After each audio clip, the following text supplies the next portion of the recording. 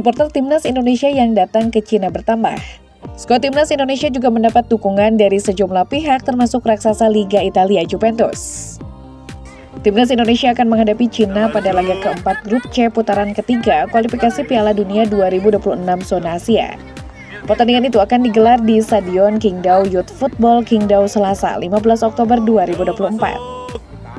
Indonesia kita baris dulu untuk masuk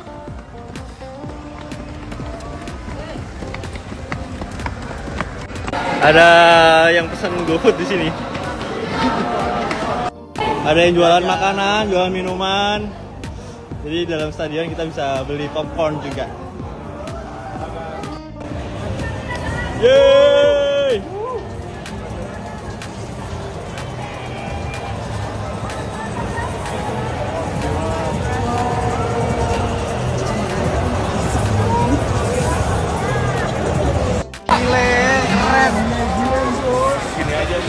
Keren, stadionnya keren, keren, keren, keren, keren. Kelihatan ini? Jadi uh, supporter China dia dapat baju gratis. Dapat baju gratis semua untuk supporter timnas ya China. Jelang pertandingan itu, Ketua Badan Tim Nasional Sumarji mengatakan bahwa ada update terbaru terkait jumlah kehadiran supporter timnas Indonesia di Cina. Kata Sumarji, jumlah supporter timnas Indonesia bertambah. Semula PSSI mengirimkan surat ke Federasi Sepak Bola Cina untuk meminta kuota tiket sebanyak 2.000 lembar. Federasi Sepak Bola Cina memberikan itu jumlah tiket tersebut. Sebab sesuai dengan peraturan FIFA, setiap tim tandang berhak mendapatkan kuota tiket sebanyak 5% dari kapasitas stadion. Adapun Stadion Qingdao Youth Football berkapasitas 50.000 penonton. Itu berarti seharusnya timnas Indonesia mendapatkan kuota tiket sebanyak 2.500 lembar.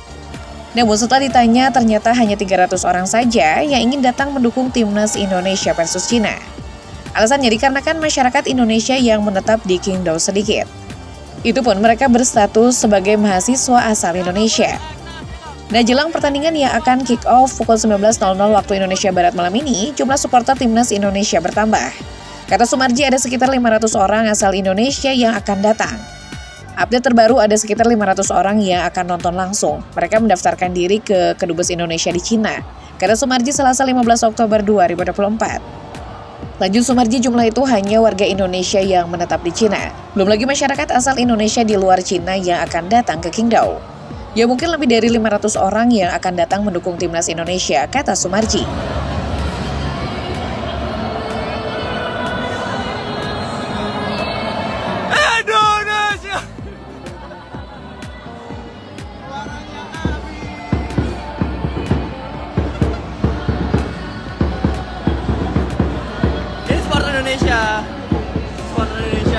Supporter Indonesia. Supporter Indonesia. Pada baru masuk.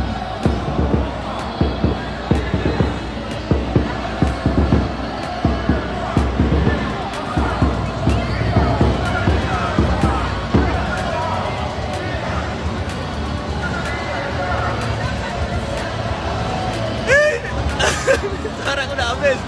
Indonesia.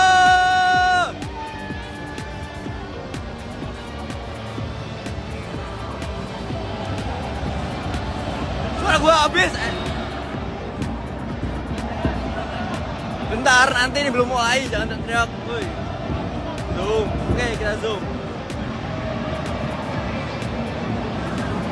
Let's zoom.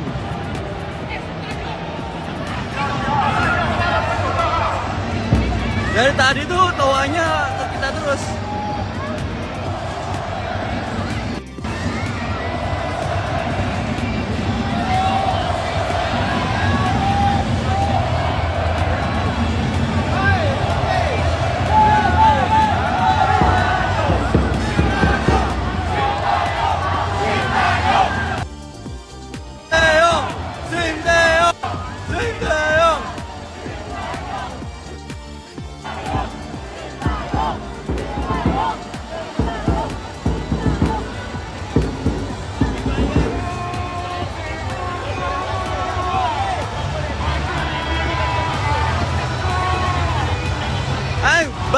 habis angin 24 nggak boleh bawa power bank di sini. Suhunya sekarang 19 derajat.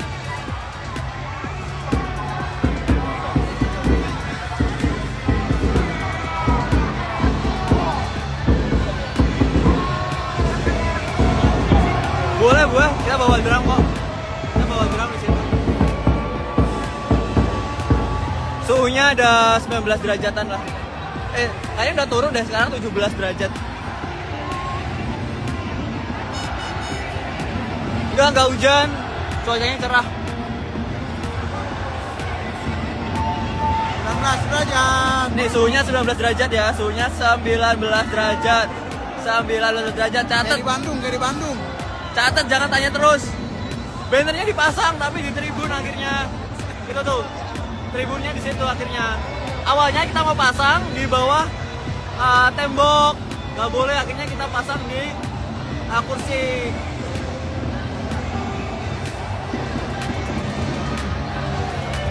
Gue pakai HP lo deh.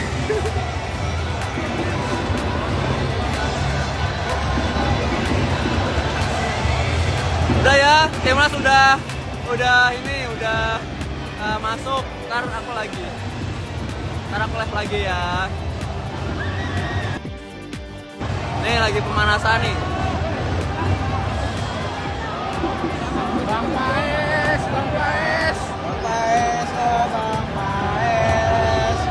bateraiku habis. Bateraiku habis.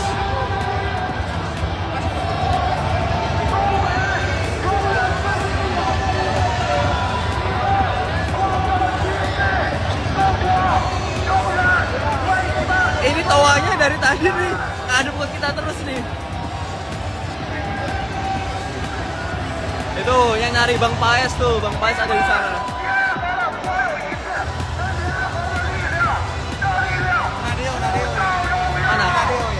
Nadeo nih, ini na eh Nadeo. Ini Nadeo. Eh mana Nadeo? Ini Nadeo.